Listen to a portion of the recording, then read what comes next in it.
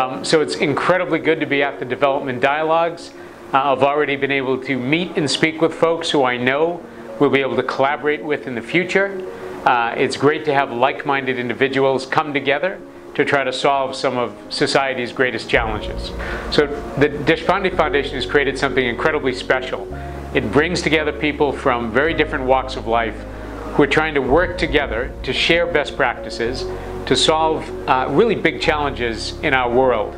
Um, and it's down to, I think, the vision that Desh and Jayashree bring to this that's amazing. Uh, they're amazing people, and they've built an incredible ecosystem through these dialogues that'll have ripple effects, uh, that'll have positive impacts for many, many decades to come. So, the theme of the dialogues this year is reimagining impact, uh, which is important because we have tremendous challenges across the globe. And in order to solve those problems that we see, we've got to think differently. We have to think in ways that can have uh, systems change, that can have scale beyond things we've imagined in the past.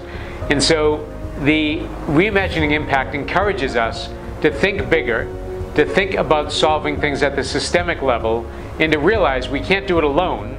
We've got to do it together and with our colleagues in order to have the greatest impact we want.